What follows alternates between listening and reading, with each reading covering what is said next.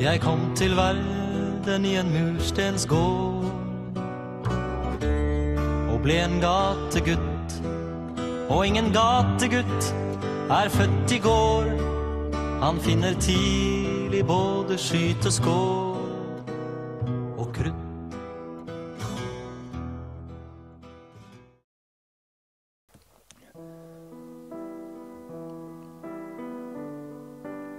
Jeg går og drømmer i den lange gate, på bunnen av den milevide by. Så langt jeg øynene løper denne flate, som skinner med en glans lik valset bly i skjæret fra de høye bulamper.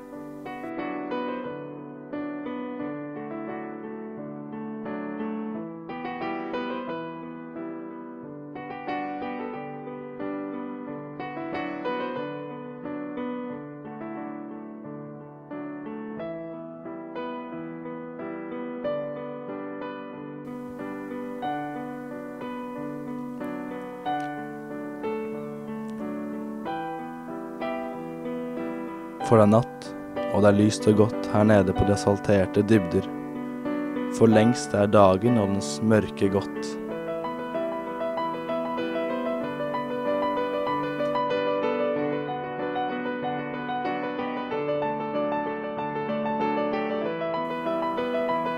Nå er tiden da de gode sover. En klokke slår den annen time inn.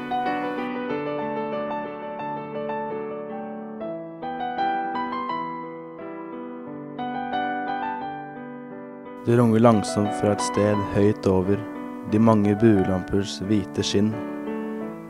Som en veldig tunnel klinger lyden av mine skritt imellom vegg og vegg.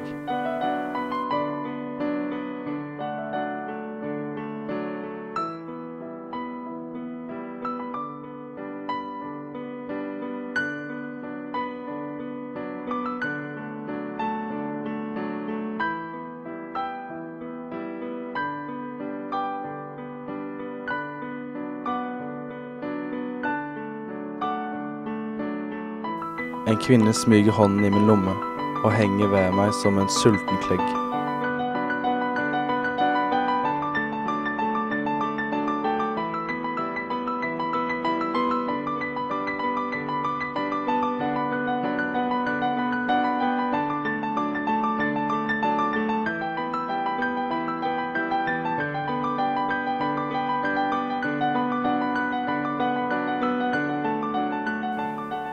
En prikk av lys blir synlig langt der ende, hvor gaten ender i en loddrett sprekk.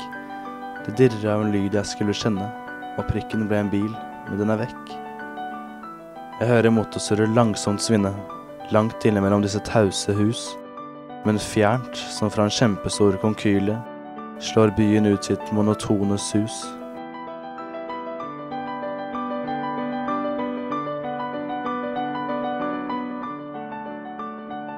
Og varm og lykke går jeg her og kjenner. I dette dyp har jeg mitt hjem, min rot. For her er allting skapt av menneskehender, fra lyset ned til stenen ved min fot.